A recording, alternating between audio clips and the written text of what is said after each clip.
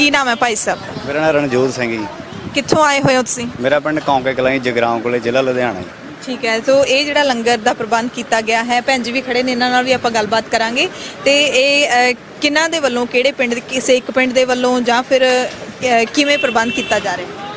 ਇਹ ਬਣਿਆ ਐ ਸੀਗਾ ਜਦੋਂ ਸ਼ੁਰੂ ਹੋਇਆ ਜਦੋਂ ਆਪਾਂ ਨਵੰਬਰ ਚ ਆਏ ਆ ਇੱਥੇ। ਹਾਂਜੀ। ਉਦੋਂ ਸ਼ੁਰੂ ਕੀਤਾ ਸੀਗਾ ਇਹ ਪਿੰਡ ਰਾਊਕੇ ਕਲਾਂ ਮੋਗੇ ਜ਼ਿਲ੍ਹੇ 'ਚ। ਠੀਕ ਹੈ। ਤੇ ਇਹ ਆਪਣੇ ਬਾਈ ਹੁਣੇ ਇੱਧਰ ਖੜੇ ਨੇ। ਇਹਨਾਂ ਨੇ ਉਦੋਂ ਇਹ ਤਵੀ ਲਾ ਕੇ ਇੱਥੇ ਪੱਟ ਕੇ ਉਦੋਂ ਤਾਂ ਜਾਨੀ ਆਈ ਸਟਾਰਟ ਕੀਤਾ ਸੀ ਆਪਾਂ ਜਿਵੇਂ ਨੇੜੇ ਨੇੜੇ ਵਾਲੇ ਕਿਉਂਕਿ ਉਦੋਂ ਤੁਹਾਨੂੰ ਪਤਾ ਲੰਗਰ ਦਾ ਫਿਰ ਉਹ ਪ੍ਰਬੰਧ ਨਹੀਂ ਸੀਗੇ ਜਦੋਂ ਸ਼ੁਰੂ 'ਚ ਤੁਹਾਨੂੰ ਪਤਾ ਹੀ ਹੈ ਹਨਾ? ਤੇ ਉਦੋਂ ਫਿਰ ਸ਼ੁਰੂਆਤ ਤਾਂ ਬਿਲਕੁਲ ਸੜਕਾਂ ਤੇ ਆ ਕੇ ਬੈਠੇ ਸੀ। ਹਾਂਜੀ ਹਾਂਜੀ ਉਵੇਂ ਹੀ ਬੈਠੇ ਸੀਗੇ ਤੇ ਤੇ ਹੁਣ ਕਿੰਨੀ ਕੁ ਸੰਗਤ ਸ਼ਾਮਿਲ ਹੋ ਗਈ ਹੈ ਇਸ ਸੇਵਾ ਦੇ ਵਿੱਚ? ਇਹਦੇ ਵਿੱਚ ਹੁਣ ਆਏ ਆ ਜੀ ਜਿਵੇਂ ਹੁਣ ਬਹੁਤ ਸੰਯੋਗ ਕਰੀ ਜਾਂਦੇ ਆ ਪਿੰਡ। ਮਤਲਬ ਪੂਰੇ ਪੰਜਾਬ 'ਚ ਵੀ ਆਪਾਂ ਕਹਿ ਸਕਦੇ ਆ।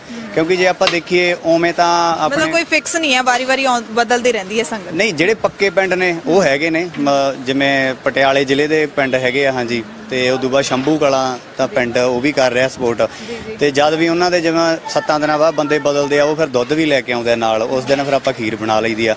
ਤੇ ਜਦ ਕੋਈ ਜਿਵੇਂ ਬਾਲਣਾ ਥੋੜਾ ਰਹਿ ਜਾਂਦਾ ਜਾਂ ਕੋਈ ਹੋਰ ਰਾਸ਼ਨ ਆ ਬਾਕੀ ਜਿਵੇਂ ਹੁਣ ਬਾਰਡਰ ਤੇ ਤੁਹਾਨੂੰ ਪਤਾ ਵੀ ਉਹ ਵੀ ਪੰਜਾਬ ਦੇ ਵਿੱਚੋਂ ਰਾਸ਼ਨ ਲੈ ਕੇ ਆਉਂਦੇ ਜਿਹੜੇ ਲੰਗਰਾਂ ਵਾਸਤੇ ਉਹ ਵੀ ਆਪਣੇ ਲੰਗਰ ਨੂੰ ਸੰਜੋਗ ਤੇ ਹਰਿਆਣੇ ਦਾ ਹਰਿਆਣੇ ਦੇ ਸਹਿਯੋਗ ਦੀ ਬੜੀ ਗੱਲ ਹੁੰਦੀ ਹੈ ਬਾਰਡਰਾਂ ਦੇ ਉੱਤੇ ਕਿ ਹਰਿਆਣੇ ਲਗਾਤਾਰ ਜਿਹੜੇ ਲੋਕ ਹੈਗੇ ਨੇ ਉਹ ਸਹਿਯੋਗ ਕਰ ਰਹੇ ਨੇ ਹੁਣ ਵੀ ਜਾਰੀ ਹੈ। ਹਾਂਜੀ ਹਾਂਜੀ ਹਰਿਆਣੇ ਦੇ ਸੰਯੋਗ ਤੋਂ ਬਿਨਾ ਤਾਂ ਮੈਨੂੰ ਲੱਗਦਾ ਨਹੀਂ ਸੀਗਾ ਵੀ ਆਪਾਂ ਵੀ ਕੁਝ ਕਰ ਸਕਦੇ ਸੀਗੇ ਕਿਉਂਕਿ ਹਰਿਆਣਾ ਤਾਂ ਆਪਣੇ ਨਾਲ ਛੋਟਾ ਭਰਾ ਬਣ ਕੇ ਖੜਾ ਹੈ ਹਨਾ ਆਪਾਂ ਪਹਿਲਾਂ ਹੀ ਕਹਿੰਨੇ ਆ ਤੇ ਉਹਨੇ ਪੂਰਾ ਫਰਜ਼ ਨਿਭਾਇਆ ਹਰਿਆਣੇ ਨੇ ਛੋਟੇ ਭਰਾ ਵਾਲਾ ਤੇ ਅੱਜ ਵੀ ਉਹਨਾਂ ਦੀ ਸ਼ੁਰੂ ਤੋਂ ਲੈ ਕੇ ਹੁਣ ਤੱਕ ਵੀ ਨਿਰੰਤਰ 70 ਕਿਲੋਮੀਟਰ ਵਾਟ ਤੋਂ ਸ਼ਾਇਦ ਹੈਗਾ ਉਹਨਾਂ ਦਾ ਰੋਜ਼ ਲੱਸੀ ਪਹੁੰਚਦੀ ਕਰਦੇ ਆ ਇੱਥੇ। ਤੁਸੀਂ ਇੱਥੇ ਕਿੰਨੇ ਕੁ ਟਾਈਮ ਤੋਂ ਮੌਜੂਦ ਹੋ? ਮੈਂ ਜੀ ਪਹਿਲਾਂ ਯਾਨੀ ਇੱਥੇ ਮੋਰਚੇ 'ਚ ਆਇਆ ਸੀਗਾ 3 ਦਸੰਬਰ ਨੂੰ। ਪਹਿਲੀ ਵਾਰੀ।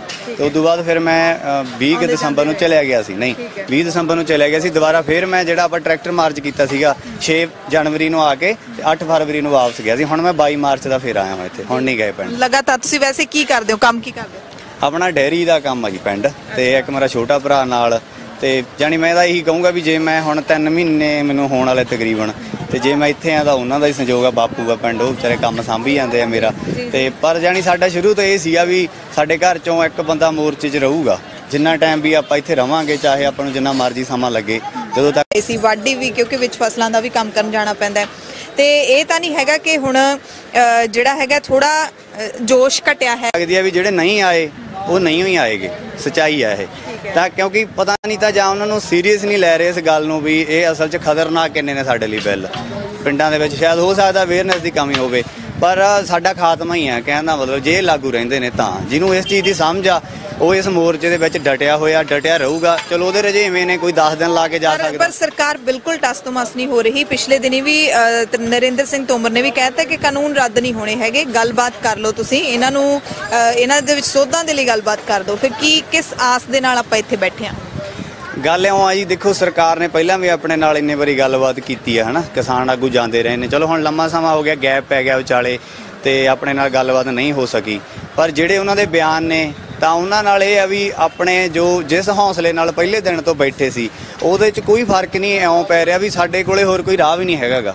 ਕਿਉਂਕਿ ਅਸੀਂ ਇਹਨਾਂ ਨੂੰ ਰੱਦ ਕਰਾਏ ਬਣਾ ਇੱਥੋਂ ਜਾਣਾ ਨਹੀਂ, ਕਿਉਂਕਿ ਅਸੀਂ ਹੁਣ ਤੱਕ ਇਹ ਮੋਰਚੇ ਦੇ ਵਿੱਚ ਪੈਸੇ ਦੀ ਜੇ ਗੱਲ ਕਰੀਏ, ਚਲੋ ਉਹ ਤਾਂ ਵੱਖਰੀ ਗੱਲ ਆ, ਪਰ ਜਿਹੜੀਆਂ ਆਪਾਂ ਸ਼ਹੀਦੀਆਂ ਦੇਤੀਆਂ ਇੱਥੇ ਕਿਸਾਨਾਂ ਨੇ, ਉਹ ਭਰਪਾਈ ਨਹੀਂ ਹੋ ਸਕਦੀ, ਜਿਹਦੇ ਪਰਿਵਾਰ ਦਾ ਜੀ ਜਾਂਦਾ ਉਹਨੂੰ ਪਤਾ ਹੁੰਦਾ ਜੀ।